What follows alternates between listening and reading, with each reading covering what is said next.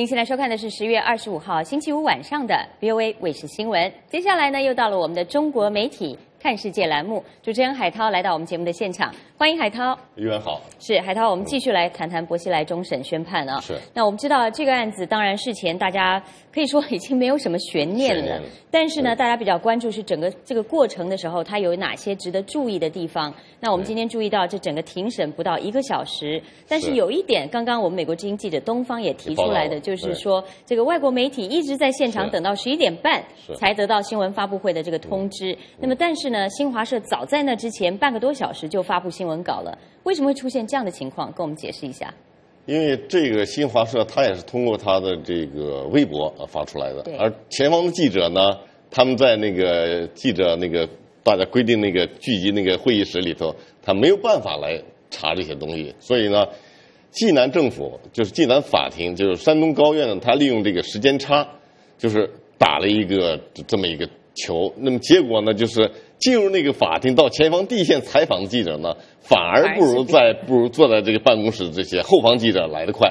情况就是这样。那么刚才周耀东教授也提到了，这他认为这是一个基层的底下的一个技术错误。但是我认为呢，很可能也这个层层面呢远远要高于这个基层的可能是有刻意的安排呃，基层技术错误。有可能。OK，好的。那么继续我们要来看看、今天的中国媒体，我相信对于薄熙来这个终审宣判啊审结了，他们也有一些评论，是不是能给我们介绍一下，在中国媒体有没有这样的一些评论文章？有很多的报道，但是现在发表评论呢，为时还过早。为什么呢？就是这个是呃二十五号中国时间中午接近时间发生的。那么这时候呢，所有的报纸都出了，要有一些评论可能在晚报。那么大部分的这个媒体呢，中央的大媒体还有各门户网站呢，它都是把新华社发这个通稿呢，作为一篇这个上网的材料，在网上迅速了，和各大媒体也都是这样作为上网的材料。那么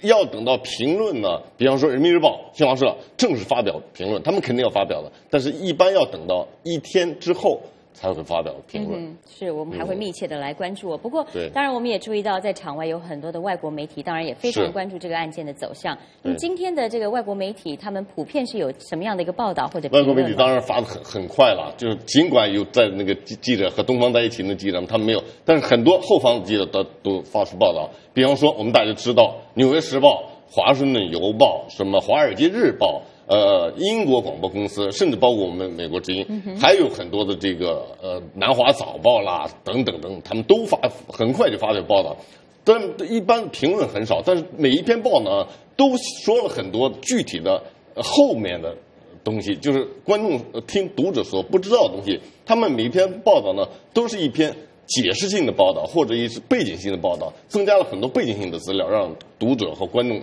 从中间得到更多的信息，而不仅仅像中国的那些报道一样，就是简单的事实啊，济南高院维护了中院的这个原判等等，就是就它都是一个。就是西方的报道，它都是有这么一个特色。是没错，嗯他当然呃，可能也顾及到很多的观众可能还没有完全的了解有关薄熙来案的整整个来龙去脉，所以才会有这样的很多的背景的介绍。嗯那当然看完了海外媒体，我们要继续回到中国。中国的网民们，刚刚我们也讲了，这个实际上虽然是没有什么悬念，但他们仍然是很关注在今天的二审的这个审判结果。那包括我们美国之音的网站上也有许许多多的网友留言呢、那么在中国的网民，他们普遍反应是什么呢？普遍反映就是说，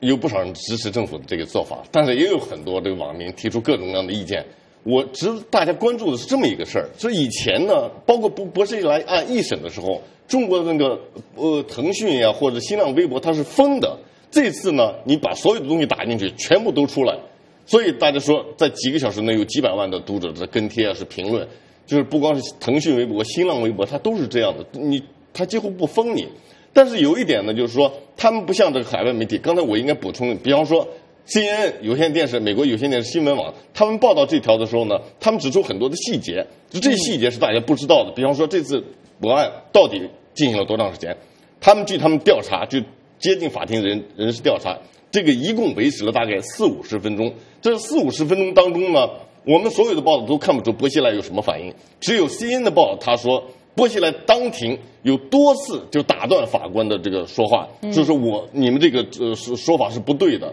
你们为什么不考虑我的这个上诉？我提出了十一点，你们为什么不考虑？实际上，薄熙来提出的十一点呢，有两点是非常重要的。比方说，第二点，他说是这个这个不能按照古开来的证词来说，因为古开来他有问题，大家都知道。还有一点就是说，你们判王立军说把把他判了十五年，说他是叛逃罪，而我的这个所谓这个